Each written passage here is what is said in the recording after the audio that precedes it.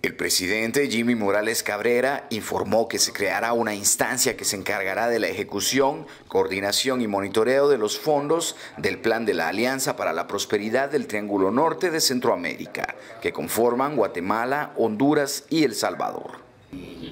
Finanzas tiene lo de la creación de esta instancia que Guatemala no tiene.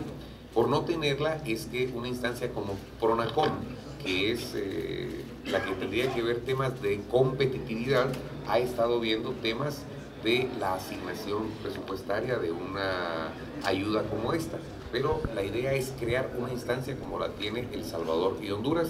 Manifestó el mandatario y añadió que mientras eso ocurre, el país ya posee un mecanismo de diálogo multisectorial, el cual fue suscrito el año pasado. Estados Unidos aprobó recientemente 750 millones de dólares para la alianza.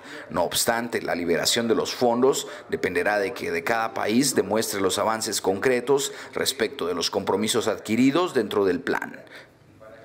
En el caso de Guatemala, identificó dentro de su presupuesto el equivalente a 875 millones de dólares en concepto de contrapartidas, por lo que el Programa Nacional de Competitividad y los Ministerios de Economía y Finanzas deberán empeñarse para que los objetivos sean un éxito, indicó el presidente.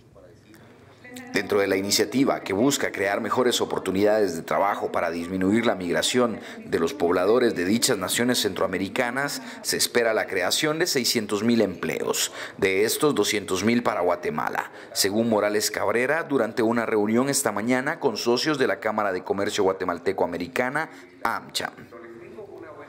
Para DCATV informó Carlos Alonso.